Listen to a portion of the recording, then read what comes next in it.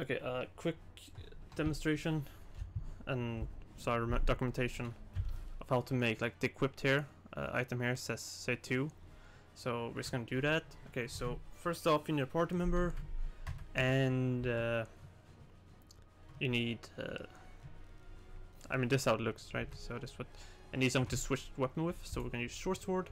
We're gonna do EQ to E to go over here to inventory, and then Q to go back default go to port member, EQ, go back to main character, press cancel, go to port member and select the right weapon, press none, OK.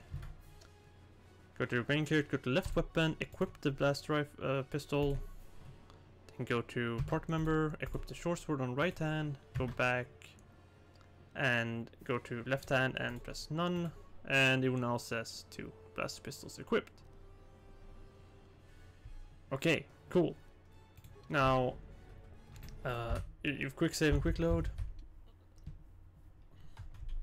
and then remove it, and it's still here. Even if quick load, I can quick load again, and it'll still be there.